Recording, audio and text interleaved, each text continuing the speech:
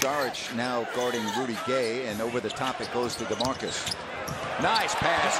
Boy, that's just beautiful by DeMarcus Cousins. And just like that, never really caught it cleanly. But look at, oh, what a play that was. Wow, Rodriguez to Embiid, three-point game.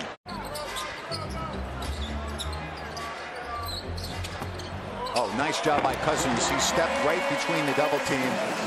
Covington went flying by, and then it was clear path to the basket for Cousins.